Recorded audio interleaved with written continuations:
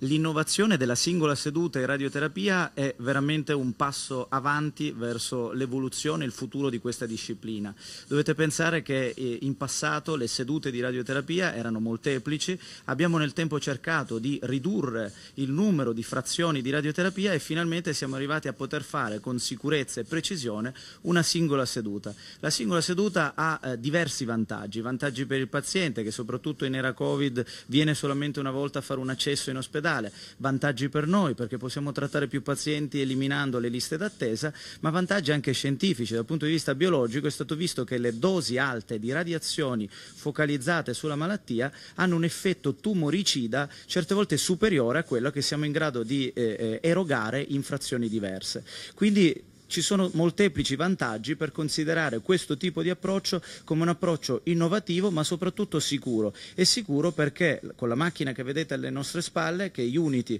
questa apparecchiatura con una risonanza magnetica ad alto campo integrata nella sala di terapia, riusciamo a vedere perfettamente dove queste radiazioni vengono veicolate, riusciamo a fare delle correzioni eh, sul momento e quindi il nostro bersaglio è sempre dentro il mirino. Il tumore viene colpito con delle dosi assolutamente efficaci, gli organi organi sani vengono esclusi e in questo modo riduciamo il più possibile gli effetti collaterali e massimizziamo la possibilità di controllo tumorale. Abbiamo nello specifico eh, trattato eh, già due pazienti con singola seduta ablativa, usiamo questo termine ablativa per indicare la possibilità con le radiazioni di sostituirci al bisturi. Noi determiniamo una vera e propria ablazione del tumore che viene necrotizzato da queste dosi massive e tumoricide di radiazioni ionizzanti.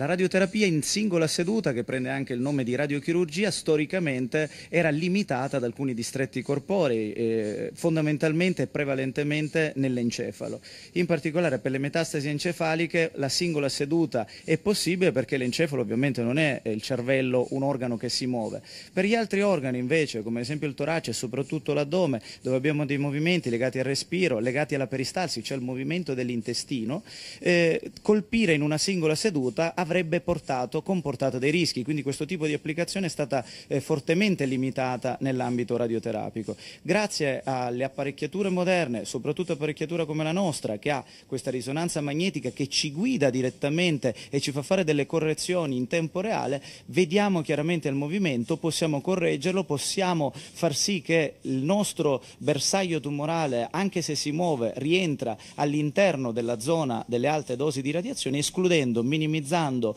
o eh, assolutamente eliminando la dose a carico degli organi e delle strutture critiche che si trovano spesso a contatto o molto vicino alla nostra sede tumorale. E specificamente con questa tecnica abbiamo trattato i primi due pazienti in Italia con questo tipo di apparecchiatura, sono due pazienti che hanno delle localizzazioni eh, metastatiche addominali, in particolare dei linfonodi, questi linfonodi sono stati colpiti con precisione, abbiamo già avuto un riscontro ottimo, i pazienti eh, diciamo, in pochi pochi minuti hanno effettuato la seduta, li stiamo seguendo, eh, non hanno effetti collaterali, è ovvio che i risultati sono ancora preliminari per dire eh, se abbiamo o meno neutralizzato in modo definitivo la malattia, ma insieme a farmaci eh, diciamo meno tossici la radioterapia si inserisce in questo contesto, come vedete anche in una singola seduta, in modo molto pratico e veloce, eh, per combattere il cancro e per farlo nel modo migliore.